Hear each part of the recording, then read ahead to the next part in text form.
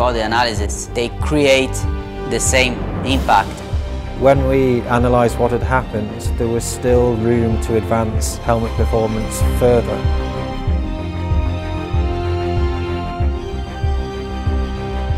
This equipment is unique. The energy management here is unique. Everything is at a very, very high level. We at FIA work together with the research uh, team, with the industry, with the helmet manufacturers and with the laboratories. We target maximum safety. The objective is to reduce uh, the number of fatalities, zero fatalities. The safety is very important for the motorsport, uh, not only for Formula One. Maybe if it was a few years before, it would have been completely different. Carbon helmet uh, saved my life.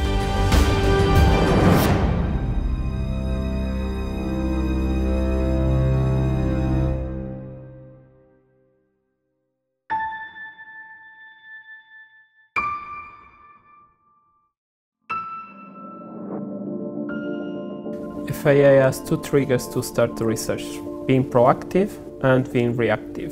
Being proactive means that we analyze the current products uh, to improve the safety requirements. Being reactive, that trigger happens every time that we analyze a fatal or a serious accident.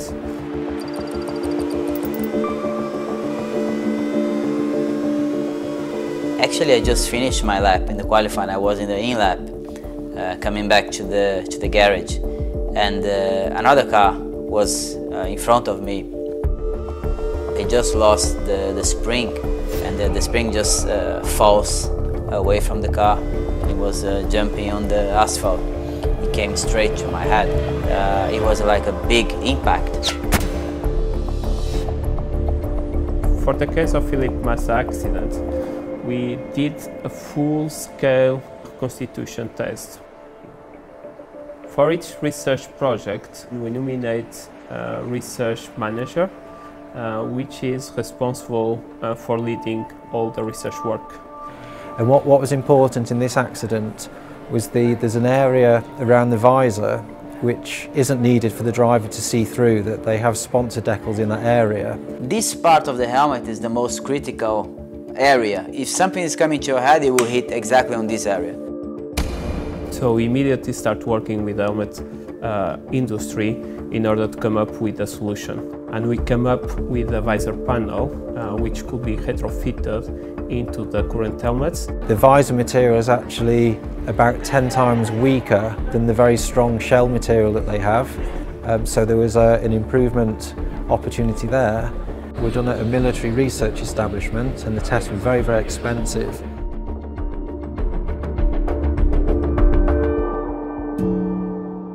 We developed a unique test procedure that is not uh, used in any other helmet standard.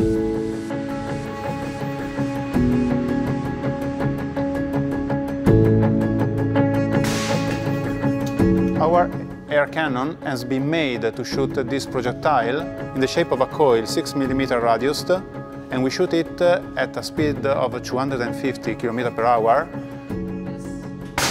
We can reach a massive energy impact, more than 500 joule. We shoot against a sort of ballistic pendulum realized with an head form which has been instrumented with a three-axial accelerometer.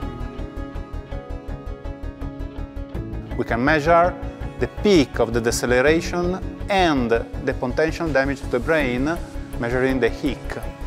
So that this is the area where the protection is limited by the, the thickness and strength of the polycarbonate material, uh, but it's not needed for visibility. So this is the helmet that I use this season. Uh, you have like a, a, visor, and this visor it was like um, a, a, big uh, evolution that they made after my accident. This area now is very, very strong. This is a, a Zylon carbon panel. Having developed this system, immediately we were then looking at how we could integrate this system into the helmet.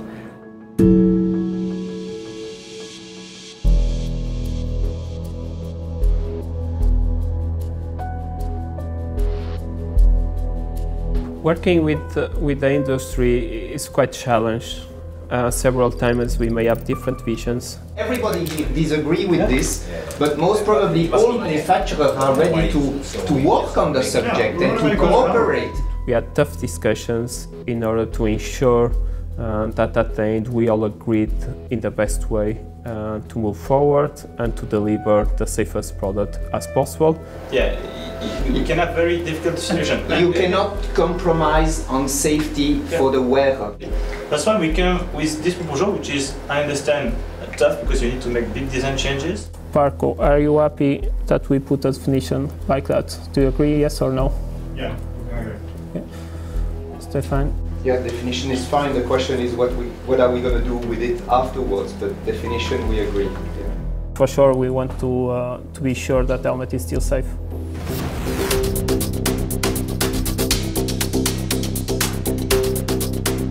We present the research during the research working group, where we have safety experts coming from all around the world. And we will begin by the first point of the item 3 regarding the helmet. It's very important uh, project for the safety. Two aspects to this. One is that the, the shell needs significant reinforcement to cope with this new test. And secondly, the, uh, the vision, the forward vision is changed um, because we're, we're bringing that point of the helmet lower. The work and we discussed the standards, safety standards uh, during the equipments approval group where we have representatives from all the manufacturers around the world, including as well laboratories. When you actually do this test, it's impressive because if you take a standard helmet and do this test, the projectile just goes straight through, hits the test head form and you see well over 1000 G and you can imagine the, the outcome. When this is working properly, we're seeing as low as 50 G on the driver's head. So obviously if, if that had been Felipe's accident, he, you know, he wouldn't have even felt it almost. It. And based on that research, we created this draft standard. We really understand that what we are asking you, uh, it's a big step in relation to what we have today. We want to help you to achieve these targets during the production process as well. We present as well the final draft standard uh, to the Safety Commission, which is composed by presidents of different commissions Today, this uh, additional visor is quite visible because it's on the on the uh, uh, the additional protection is on the visor. Tomorrow, as it will be integrated into the shell, so it's not so obvious from outside to identify that's really the helmet with uh, the protection added. It might look like we have simply integrated a level of protection from the visor to the helmet itself. So it looks like the same protection, but it's not because it means it's giving access to that protection to a lot more uh, drivers out there the final regulation must be validated by the World Motorsport Council.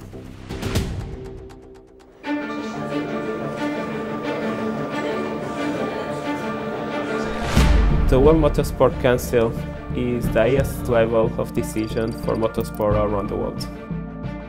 Welcome to the President's uh, Commission to attend the second part of the World Motorsport uh, Council in the dossier you have uh, a proposal for a completely new um, FIA helmet standard. It will uh, come and replace the uh, uh highest uh, helmet standards we have, so the one commonly used in our world championships called 8860. It's, uh, it's nearly 10 years old and it's going to be released hopefully after this World Motorsport Council if you approve the standard. So the World Motorsport Council, we publish the standard and then we start with the homologation process of new products. And then with the new helmet, you can now see that the visor aperture here is exactly matched with the opening we have here. And all of the reinforcement in this panel has now been integrated into the front of the helmet shell here.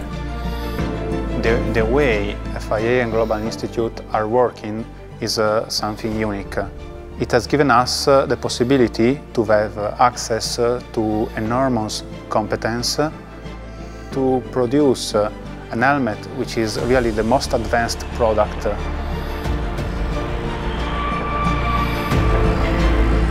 I think it's a, um, it's a really good job that FIA is doing for safety. So if you remember well, in the past, uh, the races, the cars, the tracks.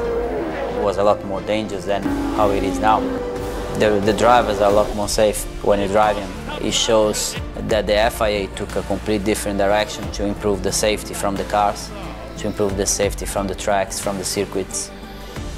We target maximum safety. That means zero fatalities. Our target is to develop the best product as possible and then back to track.